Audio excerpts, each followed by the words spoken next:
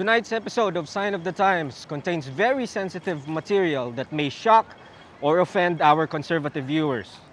Discretion is advised.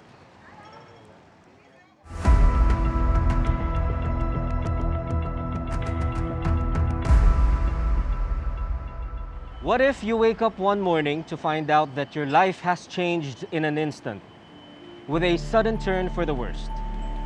This is what happened to Mr. Gerald Chua, the subject of tonight's bizarre, disturbing episode. Is our civilization nearing its end? Let's find out tonight in Sign of the Times.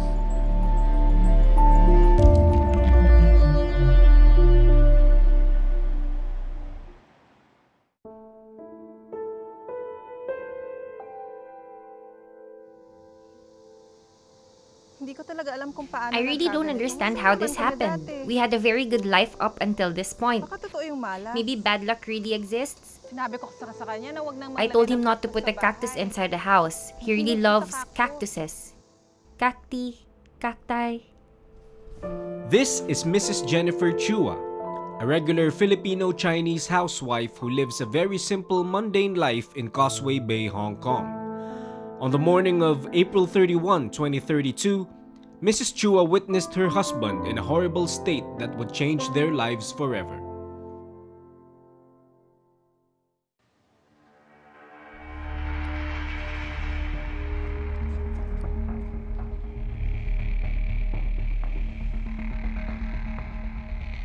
Nagising na lang ako I just woke up one morning to see that I already looked like this.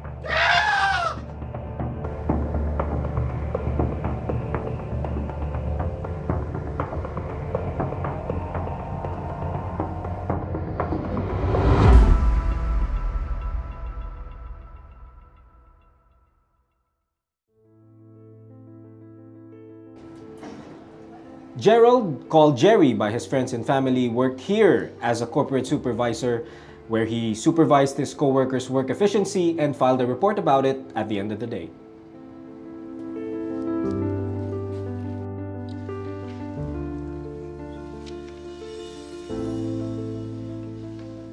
Gerald is truly our best supervisor, maybe the best supervisor we've ever had in the 35-year history of Villa. He has a very watchful eye. He leaves no stone left unturned and has a very fine attention to detail.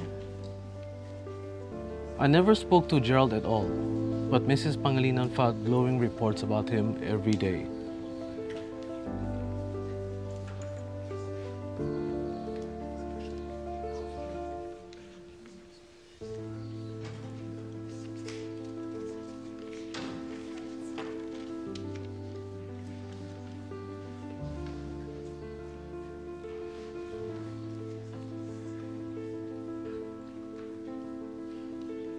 So that day, I noticed Gerald not taking off his face mask while doing his work.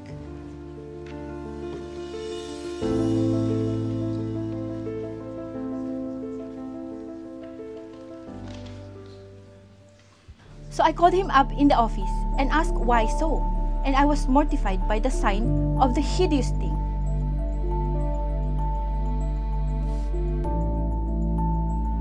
So I told him to go home and sort it out, and not to come back until he fixes the situation.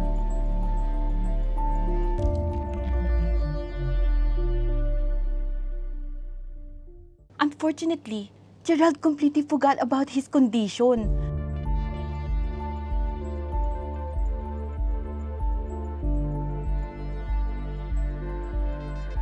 Now, Miss Fung, probably the most conservative lady in our company, passed by Gerald, and he was greeted by the sign of his face with that hideous hair on her upper lip. Miss Fung went into a shock state. This whole thing caused a big freak out in the office.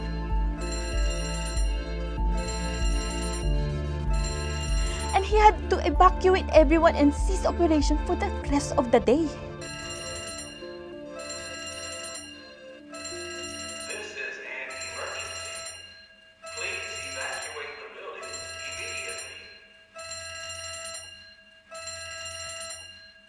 To this day, the unfortunate exposure has left an indelible scar in Miss Feng's psyche.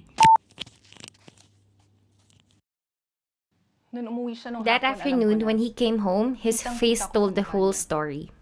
Gerald Chua, an employee of Wheelock Paper Cups Distribution Limited for 18 years, was sent home that day and was asked to not go to work indefinitely. We tried everything we can. Scissors, cutter, razor blade, knives. Nothing worked. The fucking thing was hard.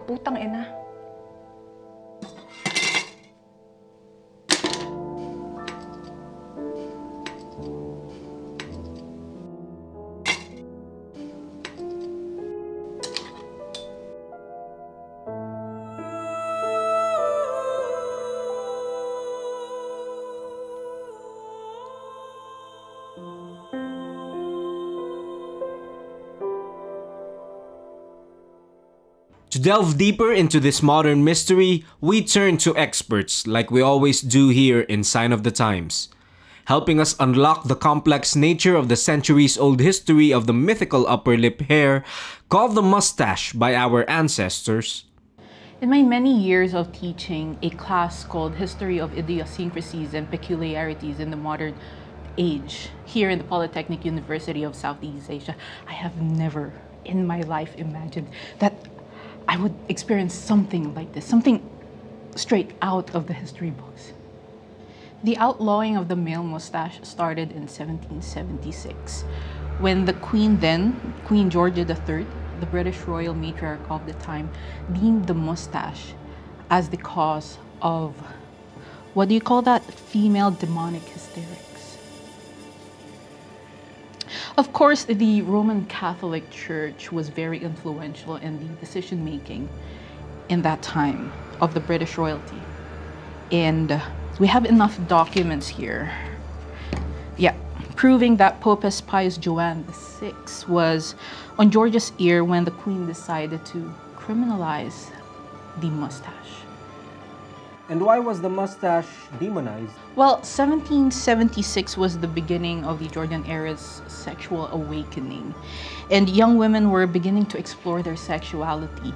And men who needed a quick buck were able to take advantage of this by repurposing hostels into walk up brothels. And this was also the advent of organized crime. Uh, there are documents here. We actually have some of the brothel's entrance tickets, which prove that mustached boys or mustache prostitutes charged double, therefore became wealthier than non-mustached boys. Well, for our less educated viewers, can you please elaborate why that is so? Hmm. I don't know if you can understand this because you're male, but to our female viewers, imagine a mound of hair softly brushing between your genitals. That must be very ticklish and pleasurable, I assume. And because the Roman Catholic Church was very influential at the time, uh, Pope Pius Joanne VI not only supported Queen George's edict to criminalize the male mustache, the Pope also made it an official part of church doctrine by including it as a cardinal sin in her amendment to the Catechism of the Catholic Church the following year. See, this development is also the main reason why polite society considers covering up our mouth area outdoors and in public, treating it as like a private part of just like genitals. 20 years after the criminalization of the mustache, the Roman Catholic Church saw its irreparable demise in 1796 due to what was considered a viral scandal. when a mustached midget was discovered in Pope Pius Joanne VI's clerical closet. From its religious roots, how did male human beings eliminate the mustache from their evolution? And how, after many centuries, did it once again resurface in Gerald Chua's bizarre case? We will find out from one of the world's leading scientists. But first,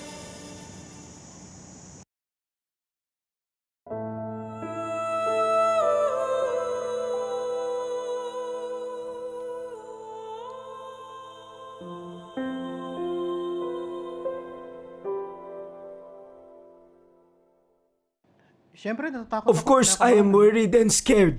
I don't know what kinds of experiments they will carry out on me here.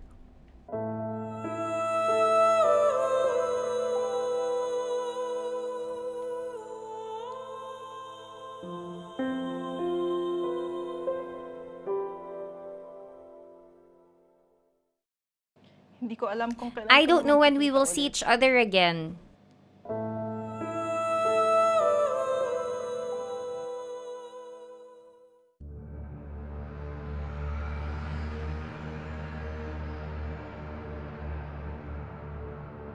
I think this case is a breakthrough and would be a welcome addition to the multiple courses on nature's evolutionary tactics and biases, which I teach here at the Southeast Asian PolyU.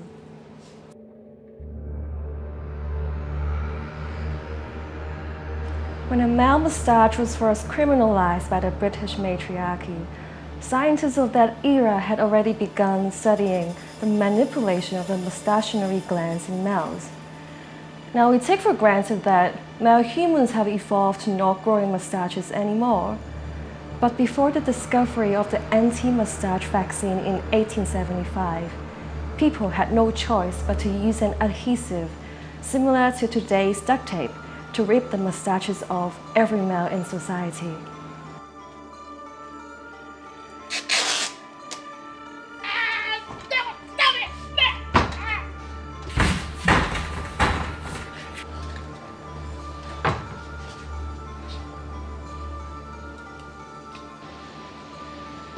As you see, the ancient method is practically useless in Mr. Chua's case. It seems like his cells have rebelled against human evolution. And the hair that grew in his mouth area has become indestructible. It has returned stronger than ever. Amazing.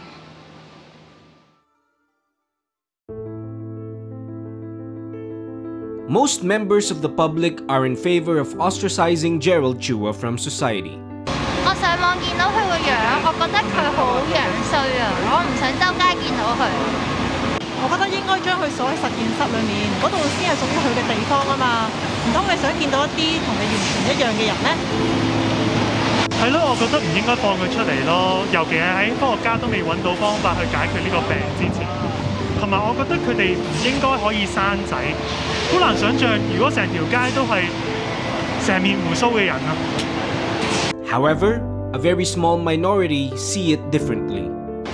我覺得佢唔應該俾人困住咯。Why? Why not? Professor Samantha Lau and her team here at the Secret Science Facility are hoping to develop a stronger, more potent replication of the original 1875 anti-mustache vaccine. It is to be taken from Gerald Chua cells in case more of these evolutionary deviant cases pop up globally. However, for the study to be undertaken, Gerald Chua must remain cryogenically frozen. We had the opportunity to talk to Mr. Chua before he went into the freezing machine. I'm actually excited for this. I'll be writing a book about this and maybe become a motivational speaker when I wake up.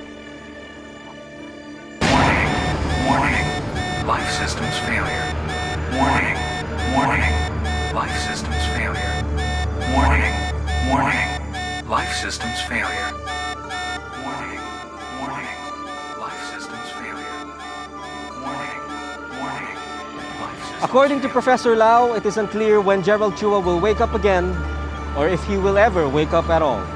Next week, three decades after it was banned, vegetables are once again being considered to be sold for human consumption, creating an uproar in the poultry and livestock industry. Concerns arise as talks of releasing vegans from prison begin. I am William Elvin, and join us again next week for another deep dive into mysteries and anomalies here in Sign of the Times.